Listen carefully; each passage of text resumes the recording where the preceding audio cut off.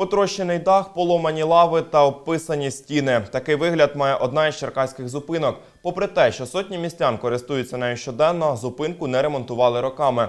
Тим часом владці звітують, відремонтували таких уже із півсотні, і роботи продовжать. Олександр Цабій далі. Пані Валентина живе в сусідньому будинку, а тому аварійну споруду бачить щодня. Намагається її обходити, бо боїться, що хиткий дах може впасти будь-якої миті.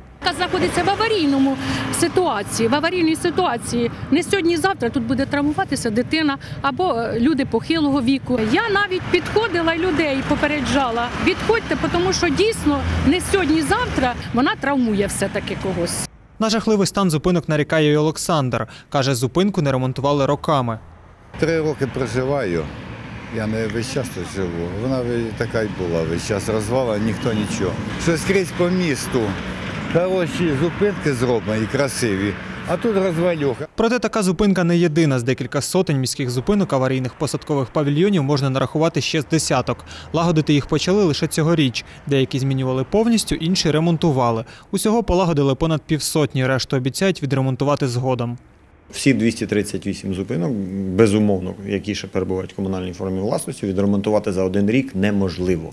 Тобто, взагалі, е, загалом, то це перший рік, коли ми ну, дійсно почали ремонтувати ці зупинки, бо вони в цьому стані перебували вже 20 років незалежності чи більше 20 років незалежності. В управлінні вуличної інфраструктури такі заяви відкидають. Кажуть, вартість нових зупинок мотивована, адже окрім встановлення посадкових павільйонів, облаштовують і територію довкола.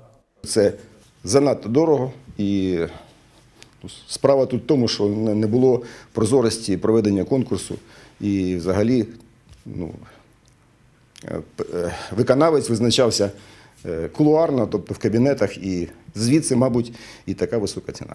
Проекти, які розроблені на капітальний, будь-який капітальний ремонт, передбачає розробку проектно-кошторисної документації. Кошторисна документація, я впевнений, однозначно проходила державну будівельну експертизу. Тож роботи обіцяють продовжити у новому році. Олександр Цабій, Ігор Неділько, Віка Новини.